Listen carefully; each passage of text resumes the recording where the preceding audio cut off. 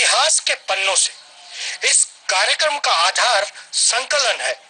विश्वसनीयता के लिए संदर्भ ग्रंथ का संपर्क करें। नमस्कार। आइए, स्वागत है आपका लोकप्रिय कार्यक्रम इतिहास के पन्नों में। आए, देखे, सुने, सोचे, समझे और मनन करें क्या कुछ हुआ आज के दिन इतिहास के पन्नों में। क्योंकि आप तो जानते ही हैं, इतिहास हमेशा अपने आप को दोहराता है। दिनांक पाँच नवंबर। पाँच नवंबर सन उन्नीस जोक चौक के महाराष्ट्र व्यायाम शाला में बाल गंधर्व, इनका स्वागत समारोह आयोजित किया गया। सन 1978 में जुहू में पृथ्वी थिएटर की स्थापना की गई। सन अठारह में इलेक्ट्रोमैग्नेटिक फ़ील्ड के शोधक जेम्स फ्लर मैक्सवेल इनका निधन हुआ। सन उन्नीस सौ चौरासी में अभिनेता रहमान इनका निधन हुआ। सन 1950 में उस्ताद फैयाज खां, जो संगीतज्ञ थे, इनका निधन हुआ। सन 1943 में दूसरे महायुद्ध में वैक्टिन सिटी पर हवाई हमला किया गया।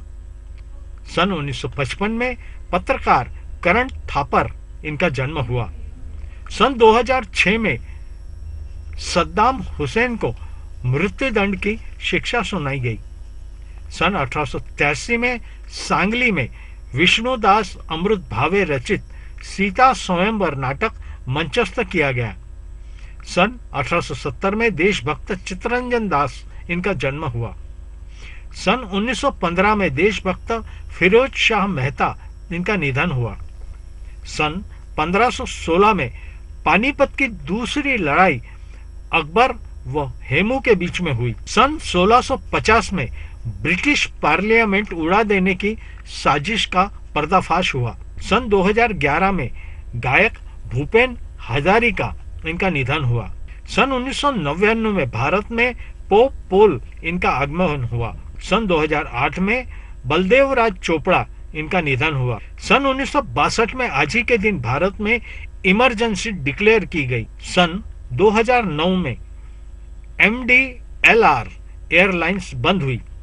इसके अलावा विविध तारीखों और सन में निम्न एयरलाइंस बंद हुई, जिसमें Ambika, Kalinga, oriental, east west, Costa, Kingfisher, Darbhanga जाम airways Indian national airways Vayudoot आदि शामिल थी। सन अठारह सौ इक्यानवे में शाहू महाराज भारत के दौरे पर रवाना हुए।